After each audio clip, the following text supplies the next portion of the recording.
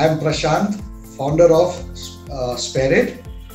I want everybody to be smart and sustain. So join Smart Sustain for a very happy and bright new year.